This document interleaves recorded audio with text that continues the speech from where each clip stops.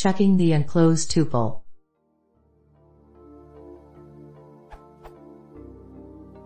This code returns true. And if I don't know the number next to E, how do I check if that letter is on the list?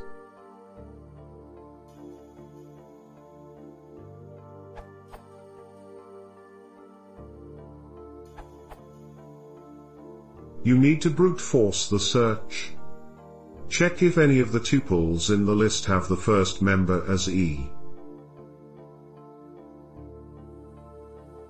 Which gives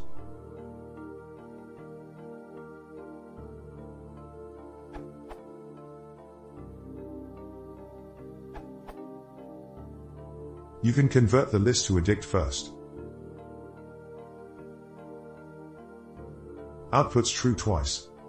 This code takes advantage of a dict which will directly take a list of tuples and make the first element of each tuple into the keys. Then you can quickly search the keys of the resulting dict.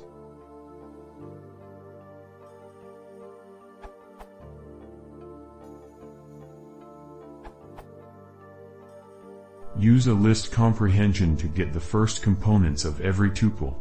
Then check using if E occurs in the resulting list using the existing approach.